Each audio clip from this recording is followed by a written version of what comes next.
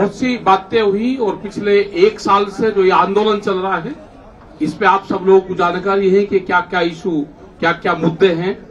और अभी जो लेटेस्ट की नॉलेज है, जो एसकेएम ने तय किया यहाँ पे मीटिंग में, वो जो पाँच लोग तय किए हैं, एक कमेटी निर्धारित की, वो कमेटी भारत सरकार से बातचीत करेगी, वो ओंथेटिक रूप से ऑथराइज कमेटी एसकेएम की है। उसके नाम हम बता देते हैं।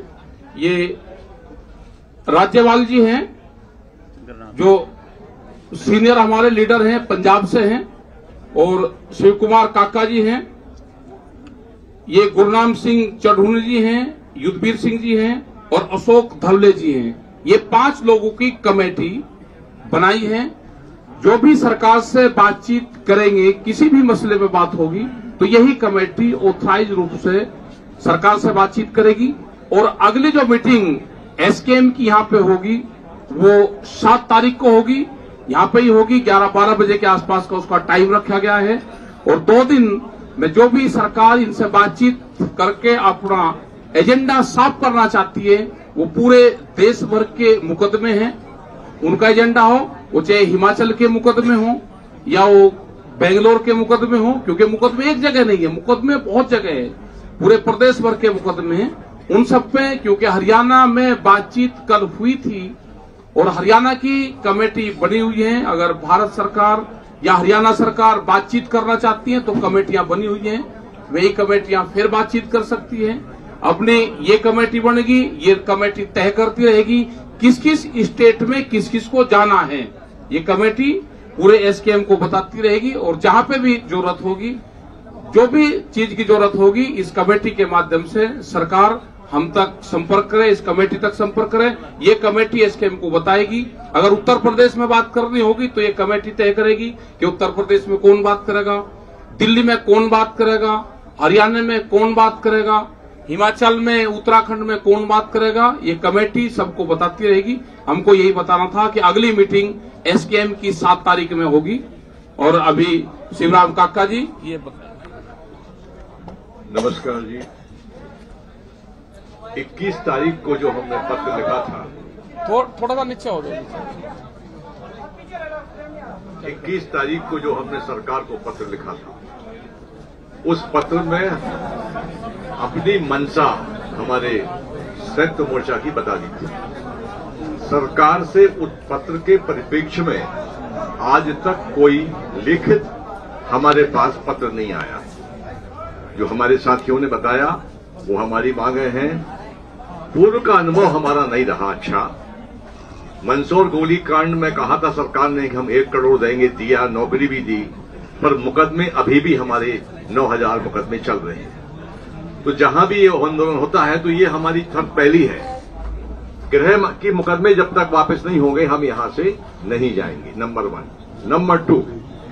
Number two ये कि केंद्र सरकार को ये अधिकार है कि वो राज्य सरकारों को डायरेक्शन दे सकती है कि जो किसान आंदोलन के अंतर्गत जो मुकदमे आए हैं, वो जो हमारे को सहयोग करने वाले लोग थे, उन पर भी मुकदमे लगे हैं। वो मुकदमे, सभी मुकदमों को वापस लेने की प्रक्रिया होती है। वो प्रक्रिया अपने अपने राज्य में लोग चला सकते हैं। खेत का विषय हमारे लिए सबसे बड़ा वो हुआ कि जब देश की सबसे बड़ी संसद में कृषि मंत्री जी कहते हैं कि हमारे पास कोई आंकड़ा नहीं है किसान शहीदों का। मैं बता दूँ प्रेस को कि नेशनल रिकॉर्ड ब्यूरो एक संस्था है इस देश की, जो सभी प्रकार की मौतों के आंकड़े रखती है।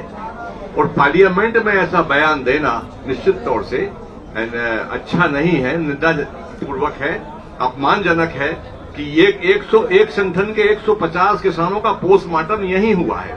पुलिस के पास रिकॉर्ड है, सबके पास रिकॉर्ड है। उसके बाद ऐसा कह देना ये उचित नहीं है। आंदोलन हमारा जारी रहेगा।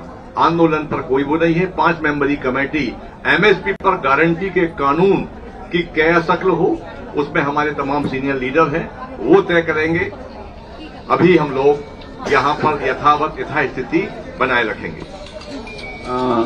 एक बात, बहुत महत्वपूर्ण बात जो रह गई है साथियों हमने पाँच मेंबरी कमेटी बनाई है, उनको अथॉरिटी भी है। वो बात करने के जाएँगे, वो फैसला कौन, कुछ बातें हैं जो उनके ध्यान में हैं।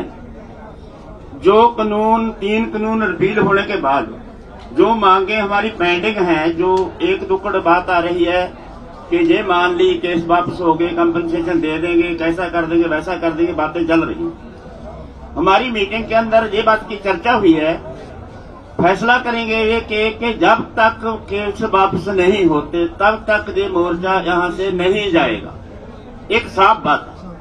दूसरी बात जितनी भी चर्चे हैं बिजली बिल 2020 का और पराली वाला प्रदूषण का और केसेज की वापसी की और उसका जो 700 शहीद हुए हैं, उनकी कंपनसेशन की जितनी पेंडिंग बातें हैं जैसे लेखमपुर वाली घटना। ये सारी की सारी जितनी सरकार ने मान ली, इनके ऊपर क्या अमलदारी है सरकार की? जो सरकार मानेगी, वो लिखती रूप में हमारे पास आएगी। इस बात की प्रपोजल हमारी कमेटी ने, हमने उधर तय किया भी इसी रखें कि सरकार कल को ऐसा ना हो को लिखत है नहीं, हमारे पास कोई सबूत प्रूफ है नहीं, वो सरकार कुछ बातें कहकर वापस मुकर जाए। क्योंकि ऐसा होता है। जैसे वैसे तो एक लॉजिक ये है जब आंदोलन के दौरान आंदोलन खत्म होगा जिन बातों के ऊपर आंदोलन चलता था उस आंदोलन दौरान जो केसेस होते हैं या केस डालते हैं ऑटोमेटिक पर्चे सरकार को रद्द करने चाहिए। पर ऐसा हुआ नहीं। पिछले सालों में ऐसा हुआ, हुआ है कि पर्चे भी रद्द कर दिए नहीं पर्चे रद्द नहीं किए। फिर केस वो मसला सुलझ गया। लेकिन पर्चे स्टैंड करके उसमें हमारे पंजाब में कई केसों में लोगों को सजा हुई है। इसलिए हमारे को ये पक्का इसका शक है कि ऐसा ना हो कि हम अपील कानून अपील हो गए और बाकी छोटी मोटी बात के ऊपर सहमति होगी और हमारे केस स्टैंड करें।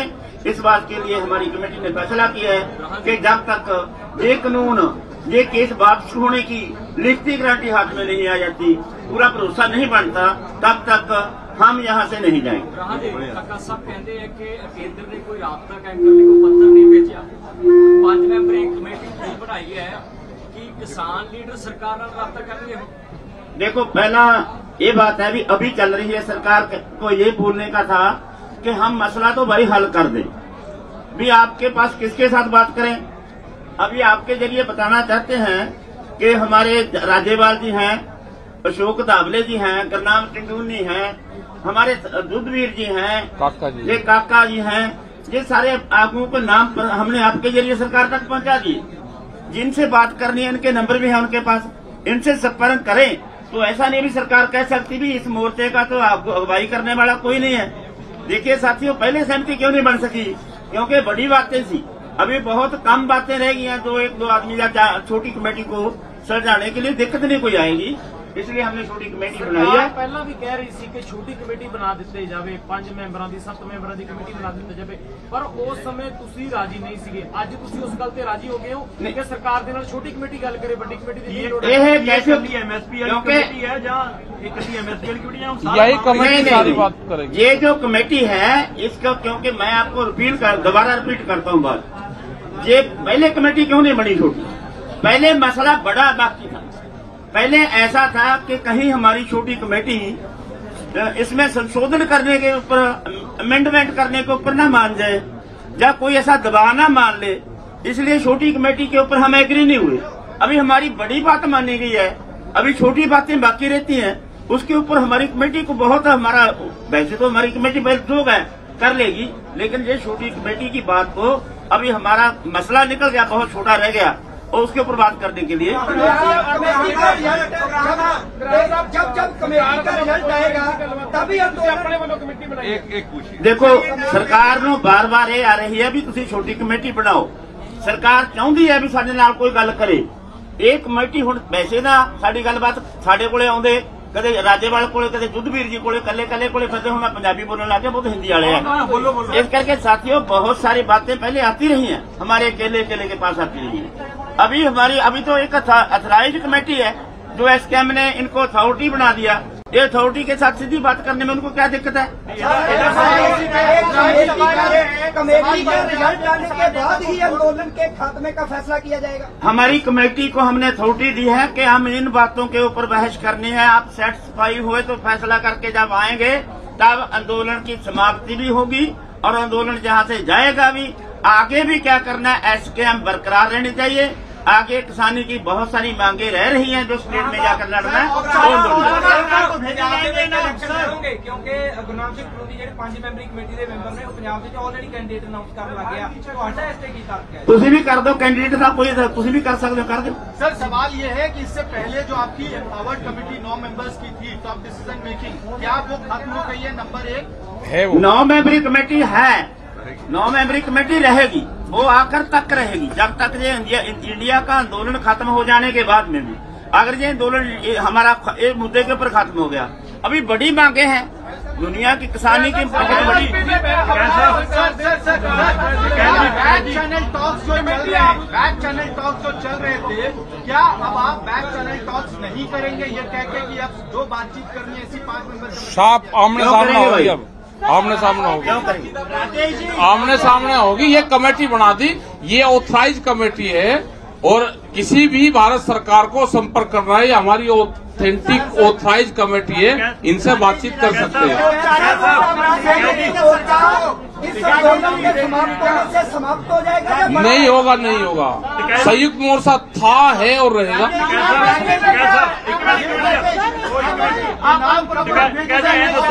ਜਿਹੜੀ ਇਹ ਕਮੇਟੀ ਹੈ ਇਹ ਮੀਟਿੰਗ ਚਾਹੁੰਦੀ ਹੈ ਕਿ ਸਿਰਫ ਮਸਲਿਆਂ ਦਾ ਹੱਲ ਚਾਹੁੰਦੀ ਹੈ ਸਰਕਾਰ ਨਾਲ ਮੀਟਿੰਗ ਚਾਹੁੰਦੇ ਹੋ देखो या मसले एक रुक तो जाओ महाराज। ये एक जाने का माध्यम है सरकार से बैठ के बातचीत करने का एक माध्यम है। इसी में ही एमएसपी की भी बात होगी आगे जो और सौ मसले होंगे उनकी भी बात होगी। एक बातचीत का एक रास्ता है ये। एक अंदर दिल्ली जाने का दरवाजे है उसमें अंदर जाएगी। ये सारा काम अपने आप करेगी फिर।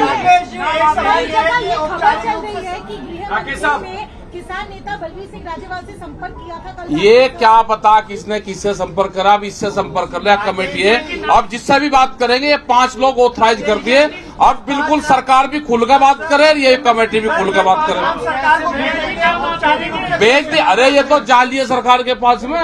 हाँ जाली है सरकार आपके माध्यम से चलेंगे। जो भी जो भी मीटिंग सरकार के साथ होगी जैसे यही करेंगे। दो मिनट सर। जैसे पहले ऑन रिकॉर्ड बात होती थी कि इस जगह पे इतने बजे कर रहे हैं। ये चीज़ तय होगी या अपने लेवल पे ऑफ़ रिकॉर्ड भी आप बात कर सकते हैं? नहीं वो भी- ये कर लेंगे ना जैसे करेंगे ये कर लेंगे। अब इनको ऑथराइज कर दिया। मीडिया को भी बताएँगे। अरे आप पता नहीं हमें भाई मीडिया को बताने वाली मीडिया को बता देंगे मीडिया का उल्ला कोई रह सके। वो चीज़ आ रही है सर एक आप बोल रहे हो कि हमने कमेटी अपने आप बनाई है दूसरा बोल रहे हो कि सरकार चाहती थी छोटी कमेटी बने। अरे वो तो- कहने पे बनी है आपने आप सरकार कोई इसकी एडवाइजरी कमेटी की मेंबर नहीं है इस संगठन की। सरकार ने ये एक आपके माध्यम से करा कि छोटी कमेटी दे दो पाँच आदमियों के नाम दे दो। सरकार एक समझौते की तरफ़ जा रही है। और उसका रिज़ल्ट ये हुआ कि कल मुख्यमंत्री से बातचीत भी हुई। उनके ये मैसेज थे कि बातचीत करें तो हमने पाँच लोग जो यहाँ पर नज़दीक रहते हैं सब यही हैं। ये बातचीत उनसे करते रहेंगे। अरे देर कहाँ होगी? देर अरे। और सरकार ने भाई बातचीत करने में ये कानून वापसी करने में लेट करा। अरे चलो अब कमेटी पे क्यों करो? ये बना दी। अब इसके आलमाला डाल ले इस कमेटी के सरकार जो कुछ करना है इसका कर ले। ये सभी ये कमेटी ही अपनी बात करेगी। जो भी करना है ये कमेटी बात करेंगी। हमने ये पाँच दे दिए जो भी बात करेगी ये कमेटी बात करेगी अब। सर मान के चले जैसे आपने बोला कि सात तारीख को अगली मीटिंग है। हाँ। बीच में जो पाँच छह का दिन बाकी दो दिन दो दे- दिन में आपकी बात सरकार से हो सकती हमें नहीं पता आज होगी हो सकती है आज ही आज हाँ ही। देखो। हाँ तो ठीक बात है हमें क्या तकलीफ़ है यार? अरे कमेटी तो बना दी। तो कमेटी को बात तो कर दे दो और लो जी हो गया धन्यवाद भाई आप सबका भी।